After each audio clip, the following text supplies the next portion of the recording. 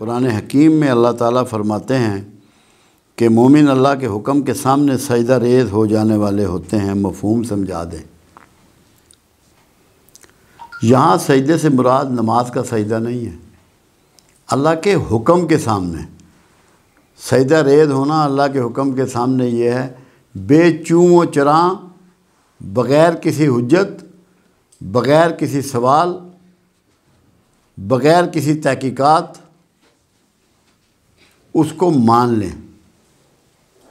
इसकी एक बहुत बड़ी मिसाल मस्जिद किबलतैन है।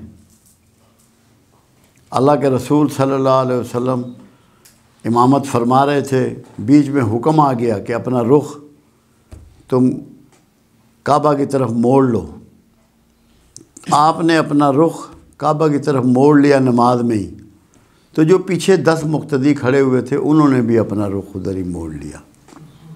ना उन्होंने रसूलुल्लाह से पूछा कि आपने क्यों इधर मुँह किया, ना उनके दिमाग में कोई ख्याल आया। इसको कहते हैं अल्लाह के हुक्म के सामने सजदा रेज होना। जिस चीज़ से अल्लाह मना करे, उससे मना हो जाना, जिस चीज़ का हुक्म दे, उसका करना। यह है सजदा रेज होना। अपनी ख्वाहिशों को छोड़ के अल्लाह की ख्वाहिश के मुताबिक ज़िंदगी गुजारना।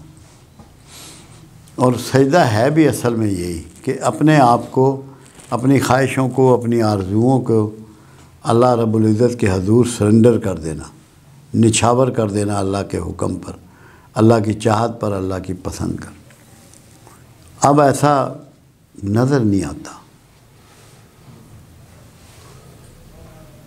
जो लोग वैसे तो सजदा करते हैं, नमाज़ें पढ़ते हैं, सब कुछ करते हैं, मगर अल्लाह की मानते नज़र नहीं आते। तो ये है मुकम्मल अल्लाह की फर्मा बरदारी जिसको अल्लाह कहता है कि दीन में पूरे के पूरे दाखिल हो जाओ। जो दीन में पूरा का पूरा दाखिल होना है, वो अल्लाह के अहकाम के सामने सजदा रेज होना